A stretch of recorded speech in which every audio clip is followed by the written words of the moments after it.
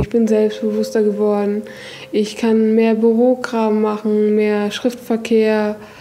Ach übrigens, ich hatte Probleme mit Lesen und Schreiben. Ich bin hier in Hamburg ähm, aufgewachsen, hier bin ich zur Schule gegangen, hier habe ich mein, hier, hier lebe ich sozusagen. Ähm, ich habe eine Ausbildung in Husum gemacht als Polsterdekorationsnäherin vor äh, neun Jahren.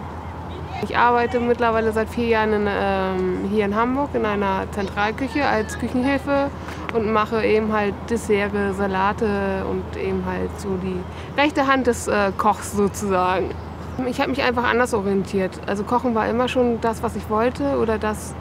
Ich habe schon als Kind viel gekocht, weil äh, meine Mutter alleinziehend ist und ich noch einen jüngeren Bruder habe und der ja auch irgendwann mal was essen musste.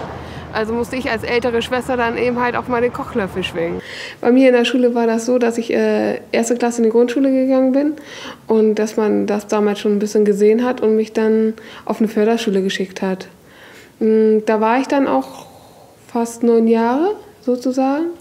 Also im Alltag ist es nicht schwierig, außer wenn ich dann eben halt Auto fahre und diese Schilder dann schnell lesen muss. Das ist dann schon schwierig. Aber im Berufsverkehr oder wenn ich unterwegs bin oder am Automaten oder so, das ist gar nicht mehr schwer. Im Gegenteil, wenn ich mit meiner Mutter dann sind wir letztens äh, zu, unter, zu meiner Großmutter gefahren und dann mussten wir die Deutsche Bahn nehmen. Ich hatte das innerhalb von zwei Minuten drauf, die Fahrkarte, und meine Mutter braucht dafür fünf Minuten. Also daher, und dann meinte sie, wie machst du denn das? Das geht ganz einfach, Mutti. Zack, zack, zack. Und fertig ist die Sache.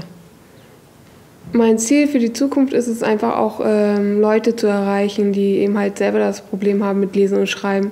Und dass sie einfach auch sehen, dass es auch anders geht, dass man aus seinem Leben noch was machen kann und nicht zu Hause rumsitzt und äh, Juhu schreit sozusagen und nichts mehr macht. Das ist mein Ziel.